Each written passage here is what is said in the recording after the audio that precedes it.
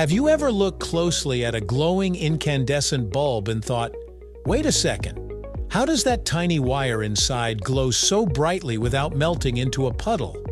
That thin metal thread in there? It's made of tungsten. And even though it heats up to over 2,000 degrees Celsius, it somehow manages to hang in there without giving up. That's not magic, it's material science. So today, we're diving into the glowing world of light bulbs and answering a surprisingly complex question.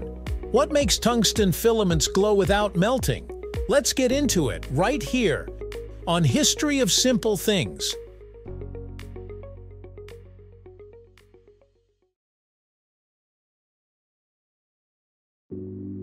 Let's start by zooming in on what's actually going on inside an incandescent light bulb.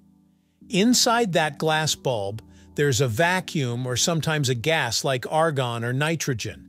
In the center is a coiled filament, usually made of tungsten, suspended between two electrical contact wires.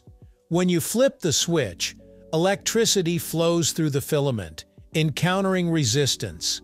This resistance causes the tungsten to heat up, like seriously heat up. We're talking temperatures as high as 2,700 to 3,000 degrees Celsius, hotter than lava. At that insane temperature, the tungsten filament begins to emit visible light, a phenomenon known as incandescence. That glow you see, it's basically the filament screaming from the heat, but it doesn't melt. And that's where things get interesting. So why tungsten? Out of all the metals we could use to make a filament, what makes this one the chosen champion? Well, for starters, tungsten has the highest melting point of any pure metal, a whopping 3,422 degrees Celsius. That's higher than any temperature it reaches in a typical light bulb. That alone makes it a fantastic candidate for getting hot and staying solid. But it's not just about the melting point. Tungsten also has a low vapor pressure at high temperatures, which means it doesn't easily evaporate. If it did, you'd have bits of metal condensing on the inside of your bulb every time you turned on the light. Over time, of course, some of the tungsten still evaporates, leading to that darkened, smoky-looking old bulbs, but it happens slowly. Another important trait is tungsten's high tensile strength. Even when it's red hot, tungsten resists sagging or breaking. That's crucial because the filament is often coiled into a spring shape to increase its surface area and efficiency. Imagine a saggy or floppy filament. It just wouldn't work well. Now let's talk about why the filament even heats up in the first place. It all comes down to electrical resistance. When electricity flows through a material, it encounters resistance, basically friction at the atomic level. This friction causes the atoms to jiggle, which generates heat. Tungsten has a relatively high electrical resistance compared to metals like copper or silver. Normally, high resistance is a bad thing in wiring, you want wires to carry electricity efficiently. But in a filament, that resistance is the whole point. It's what causes the filament to heat up and glow. The trick is finding a material that resists just enough to glow, but not so much that it breaks down. Tungsten hits that sweet spot beautifully, and because it doesn't melt until long after it's begun emitting visible light, it allows for a stable and long-lasting glow. At this point, you might be thinking, but if it's getting that hot, isn't it right on the edge of melting? And yes, it kind of is. Tungsten operates at extremely high temperatures, but just under its melting point. That's where material engineering comes into play.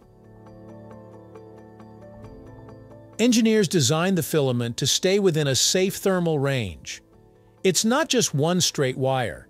It's usually a coiled coil, meaning the wire is coiled into a spring, and that spring is coiled again. This design helps control the distribution of heat and light. It allows the filament to get very hot in a compact space without requiring massive amounts of energy. Also, the vacuum or inert gas inside the bulb helps prevent the tungsten from oxidizing. If oxygen were present, the tungsten would react violently and disintegrate in seconds. By removing oxygen, we let the filament heat up in peace without any combustion. Even though tungsten is tough, it's not invincible. Over time, the metal does evaporate atom by atom, and the filament gets thinner in spots. Eventually, it forms a weak point that breaks, which is what causes a bulb to burn out. It's a slow and inevitable process, accelerated each time the bulb is turned on and off, creating stress from thermal expansion. To help counter this, some bulbs use a gas like halogen, which creates a regenerative cycle where evaporated tungsten gets redeposited onto the filament. That's how halogen bulbs last longer than traditional ones. They recycle themselves in a way. Still, no filament lasts forever. It's a beautiful, brief life, glowing hot, staying solid, and ultimately fizzling out after hours of service. You might be wondering, if tungsten filaments are so tough, why don't we use them much anymore? Well, it comes down to efficiency. Only about 5 to 10% of the electrical energy that goes into an incandescent bulb turns into visible light. The rest is wasted as heat. That's like heating up your room just to read a book. Modern lighting, like LEDs and CFLs, are way more energy efficient and longer lasting. They don't rely on heating a metal until it glows. Instead, they use semiconductors or gas reactions to produce light without nearly as much heat. That's why they've become the new standard. Still, there's something almost poetic about the old filament bulb. That soft, warm glow is the result of a controlled dance between heat and metal, a metal that refuses to melt, even as it lights up our world. So the next time you pass by an old lamp or see an Edison-style bulb glowing in a cozy cafe, think about the material miracle inside it. That little coil of tungsten is the product of decades of experimentation and deep understanding of how metals behave under extreme conditions. It glows brightly not because it's indestructible, but because it's perfectly suited to walk the line between brilliance and breakdown.